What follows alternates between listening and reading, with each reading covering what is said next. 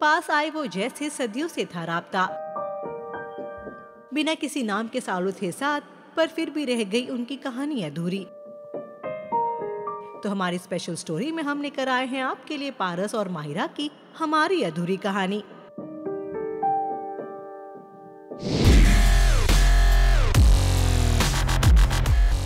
Big boss तेरह में दोनों की मुलाकात हुई। मिलते ही दोनों में ऐसा जोड़ा कनेक्शन फिर अलग करना हो गया मुश्किल। ला कंट्रोवर्सी आई बड़े बड़े इल्ज़ाम लगे, घर में कई बार आपस में भिड़े, फिर भी हमेशा रहे साथ। सीज़न खत्म होने के बाद भी एक दूसरे के हर सुख दुख में साथ रहे। पारस और माहिरा कई म्यूज़िक वीडियोस में भी साथ नज़र आए।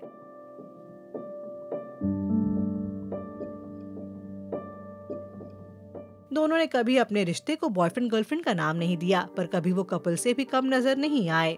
हमारे साथ एक्सक्लूसिव इंटरव्यू में पारस माहिरा ने अपने सुहाने सफ़र को लेकर कहा था बिग बॉस के बाद जब हुआ, जब हम फ़र्स्ट टाइम जब हमने इंट्रैक्शन किया तो मैंने इसको बोला कि मुझे अपना नंबर भेज। नंबर भेजा, उसके बाद आई टोल्ड है कि भाई मैं जा रहा हूँ मुझसे शादी करोगे के लिए। तो ये बोलती है all the best with your girls go ahead enjoy है ना? ऐसे करके इसने मुझे बोला। तो मैंने बोला, ठीक है भाई, मैं जा रहा हूँ। फिर उसके बाद हमारी वीडियो कॉल हुई थी। वो शायद बड़ी वायरल भी हुई थी वीडियो कॉल हमारी, है ना? कुछ तो मोर देन 150 के व्यूअर्स थे उस टाइम पे। लाइव था, वो लाइव लाइव वीडियो कॉल की थी हमने और वो बड़ी सी कंट्रोवर्शियल सी हो गई थी।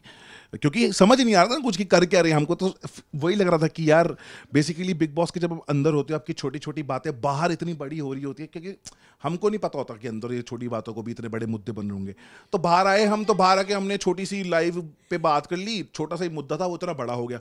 तो जाके समझ में आया, ओ Myra we should not talk about all this पता है ऐसा ऐसा होता है। एक्चुअली मैंने नहीं मायरा को बोलता मायरा ने मुझे बोला था, क्योंकि मैं ऐसा हूँ कि मुँह फटूँ, कुछ भी बोल देता हूँ। दोनों की प्यार भरी नोकझोंक चलती रही, पर अब दोनों के रिश्ते में गहरी दरार पड़ चुकी है। मीडिया रिपोर्ट्स के मुताबिक, दोनों ने अपने रास्ते ईस्ट वेस्ट कर लिए हैं।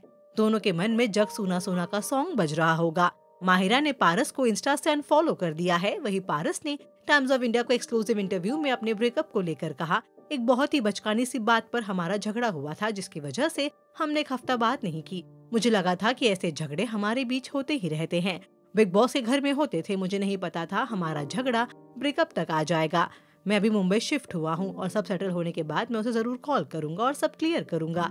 ये टेम्पररी है, हम जब मिलेंगे तब हंसेंगे और शायद ये उसकी पीआर एक्टिविटी भी हो सकती है। अब इनके बीच आखिरकार क्या माजरा है, ये तो वाकई सोचने वाली बात है। फ़िलहाल के लिए इनकी कहानी पर अधूरा का स्टैंप लगाया गया है। क्या कहना है आपका इस रिपोर्ट को लेकर, बताइए हमें कमेंट सेक्शन में।